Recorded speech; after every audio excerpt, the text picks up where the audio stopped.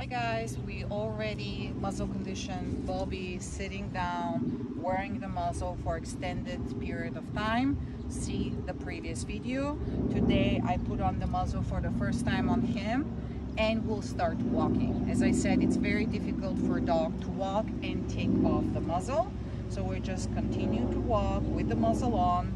Um, I have e-collar for correction in case he growls or bark or lunges um, people or dogs. And I have also a treat to give him to reward him from wearing the muzzle. You don't have to give your dog treats all the time, but at first when you start to muzzle conditioning them. Aloha.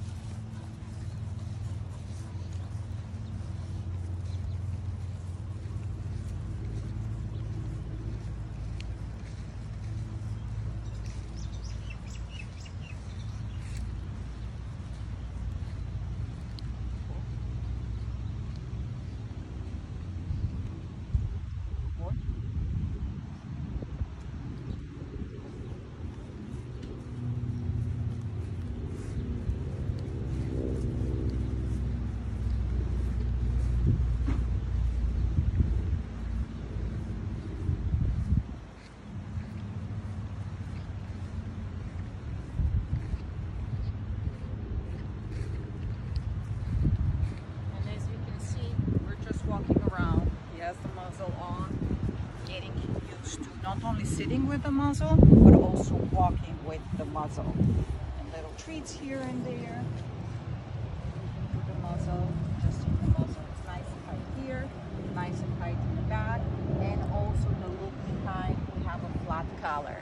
And I'm walking him on a loop leash, separate, because I don't want anything to be yanking on his muzzle. So, good boy.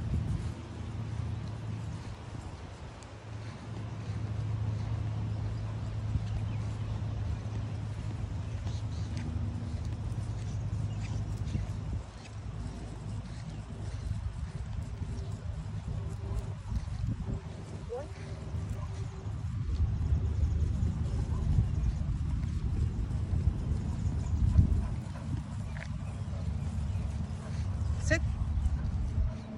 Good boy.